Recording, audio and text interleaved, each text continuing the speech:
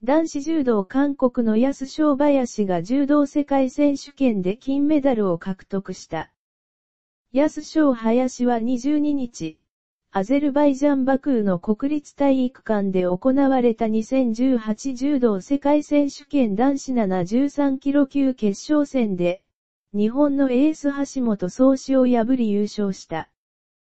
今回の金メダルで安翔林は2020東京五輪でのメダルも見えてきた。